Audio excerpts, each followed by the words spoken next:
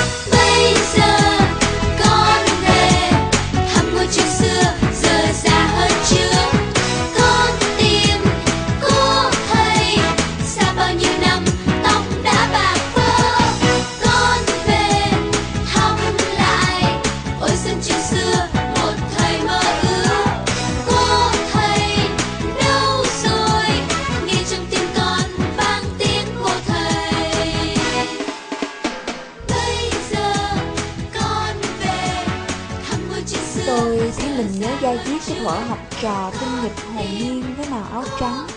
Màu áo kinh khôi ấy đã bao lần trở nên rực rỡ Vì được thầy cô điểm xuyến thêm bằng những nụ đời thơm ngát. Hay đã bao lần tôi tròn xoe mắt trước những điều mới lạ, Được mở ra khi lẫn trong đám học trò nhỏ, Say sưa nghe thầy cô giảng bài.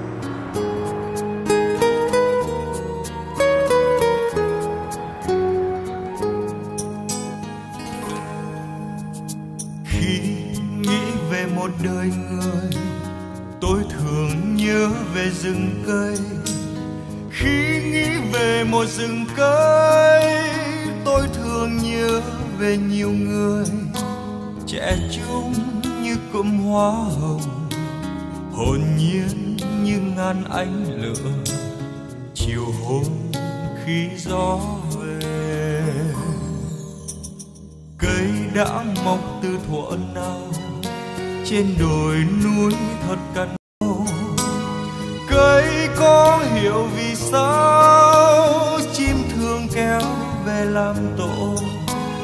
Và em như cơm lan mọc từ những cánh cổ thụ già kia.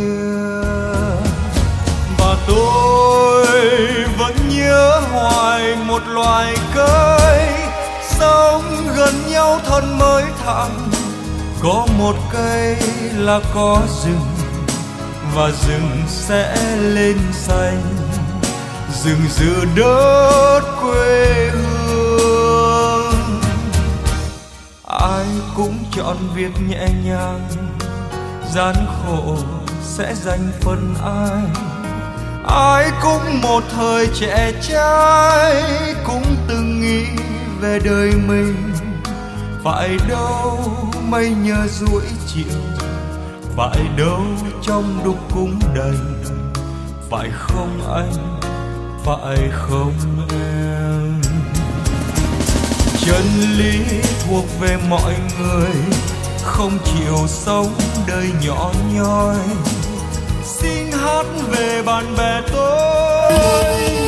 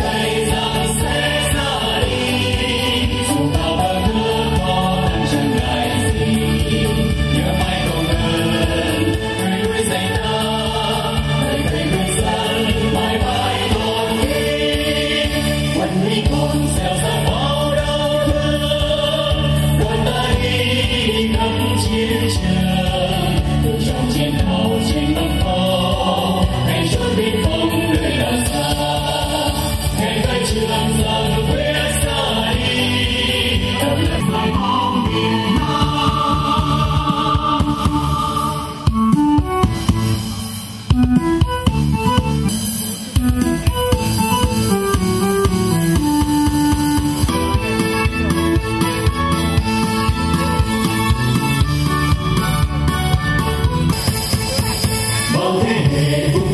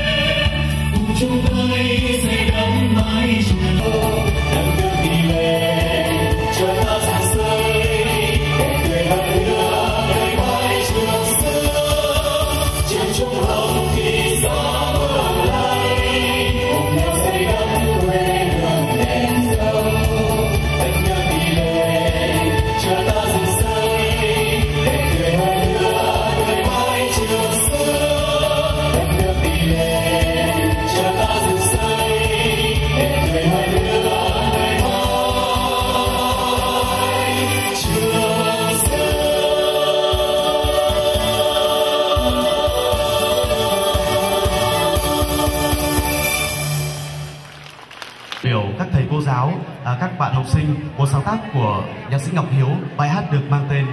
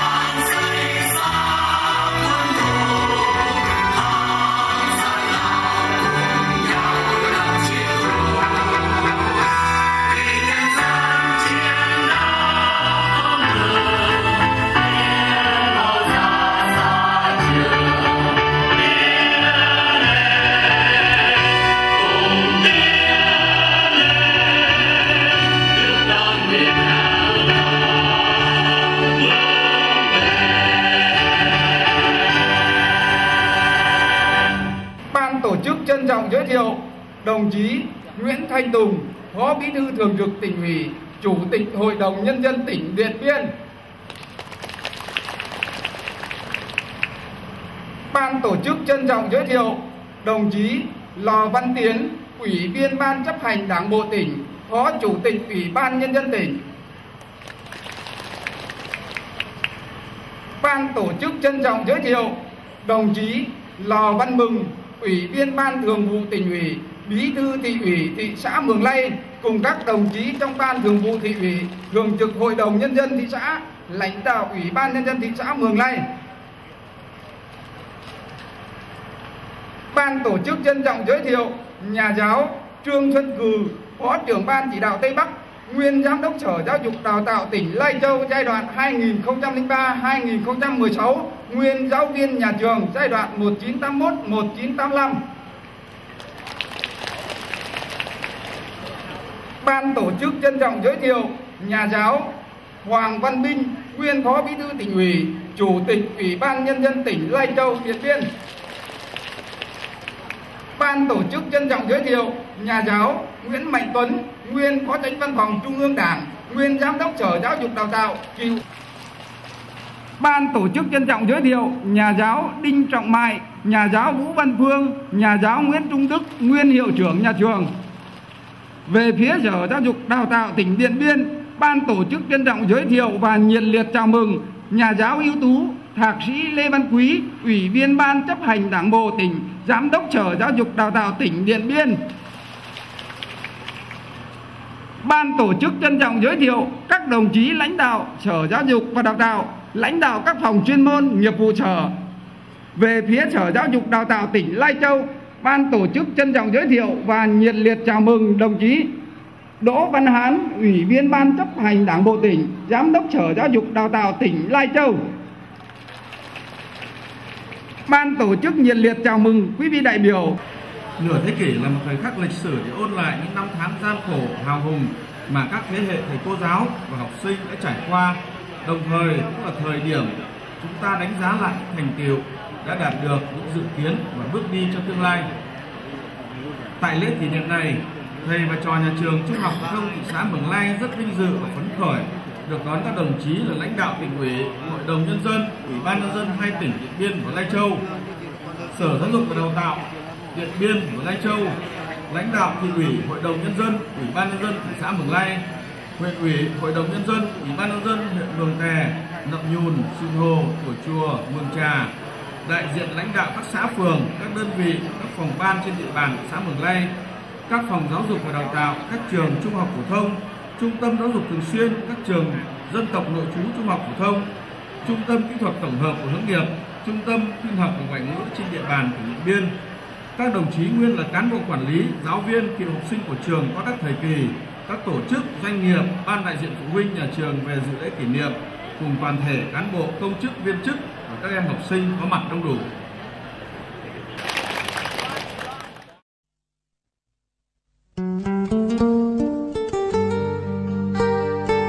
Có một lần thật bất chợt, tôi được nghe một bài hát. Bài hát với giai điệu và ca từ tha thiết, chân tình, giàu hình ảnh như một câu chuyện kể. Vẫn nhớ những khi trời mưa, vẫn chiếc áo vá sờn đôi vai, thầy vẫn đi buồn vui lặng lẽ. Ngỡ như đó là một tiếng vọng về từ nơi nào đó xa lắm. Tôi đã lắng nghe bài hát ấy với một chút cảm xúc lạ, một chút tò mò. Sao giữa dòng đời bươn chải, bộn bề, cả âm nhạc và tâm hồn người cũng ngập chìm vào những lo toan, tính toán chuyện áo cơm, lợi danh, chuyện bán mua cả tình cảm, cả trí tuệ. Lại có những dòng nhạc thảnh thơi nhẹ nhàng như thế làm ta gợi nhớ, có thể dẫn dắt ta về với những ký ức xa xưa. Bài hát đã làm được điều ấy. Tôi nghĩ đến những người thầy, những cô giáo ngày xưa của mình, những người nghiêm khắc, những người dịu hiền, những người đã khuất, những người đã đi xa, những người tôi thoáng được gặp lại và cả những người tôi chưa một lần chợt nhớ trong cuộc sống khá nhiều lo toan của mình.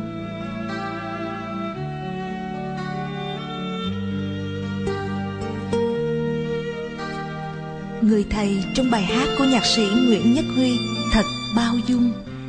Ông vượt qua bao gian khó nhọc nhằn, luôn nặng lòng với cuộc sống, với những gương mặt học trò đã được bàn tay ông nâng niu dìu dắt. Tôi bỗng chợt nhớ đến lời của mẹ xu ngày nào. Sang sông phải bắt cầu kiều, muốn con hay chữ phải yêu lấy thầy. Tôi mong sao bài hát ấy sẽ đến được với mọi người, với những người thành đạt và cả những người vô danh. Để ai cũng được tìm lại những khoảnh khắc hạnh phúc, tinh khôi nhất của đời người.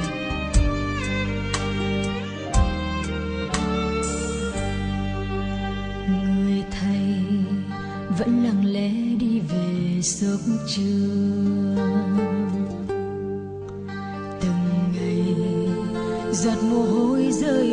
trang giấy. Để em đến bên bờ ước mơ, rồi năm tháng sông dài gió mưa, cành hoa trắng vẫn lung linh.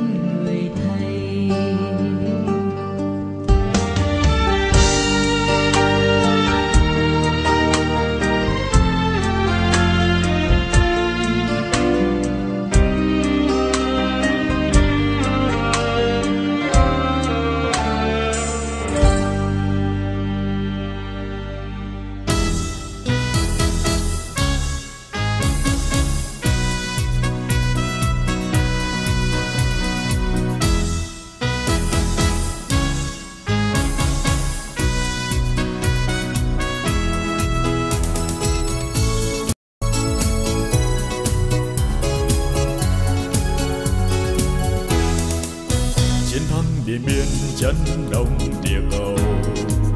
Để mãi ngàn năm dậy sóng âm vang. Ơi mường thanh tiền đất thân thương tên gọi bản là đã gắn liền tên Việt Nam vinh quang.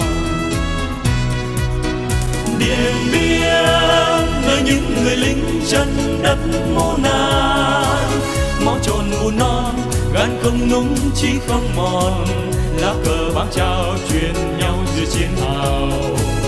Lớp lớp sông lên, ào ào như thác nổ. Ngày đêm đánh lẫn thọc sâu siết chặt vòng vây. Lấy thân mình làm đêm tưa mở đường người trước ngã xuống, người sau đứng lên. Phất cao là cờ trên thầm tiếng giặc quy hào mừng thánh hôm nay lại biết xanh màu lúa. Nhẫn rôm dì dào dòng nước nhỏ uốn quanh. Trên ngực áo em hàng quy bằng lòng lanh lại nỗi vòng xòe quanh bếp lửa hát ca.